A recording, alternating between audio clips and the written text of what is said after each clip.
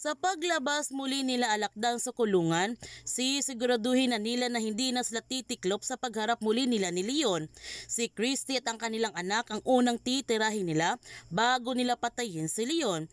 Ipapakita muna nila kay Leon kung paano nila pahihirapan ang gusto si na Christy at ang anak nito. Habang si Christy hindi na siya lalaban sa korte para maisalba ang kanilang marriage ni Jordan. Pumirma na nga siya ng annulment paper upang maging malaya na si Jordan. Masayang ipinaalam ni Shaira kay Jordan na anal na ang kanilang kasal ni Christy. Wala na itong bisa at malaya na silang magpakasal para sa kanilang anak. Makikita mo naman sa pagmumuka ni Jordan na hindi siya masaya sa ibinalita ni Shaira at mukhang napipilitan lamang ito na mag-file siya ng annulment.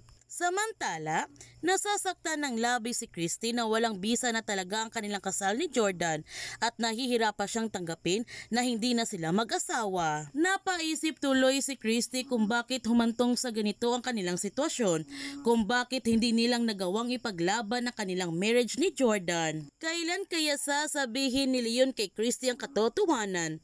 Kaya kaya niyang protektahan si Christy at ang kanilang anak mula sa mga kalasag? Yan ang ating aabangan sa asawa ng asawa ko.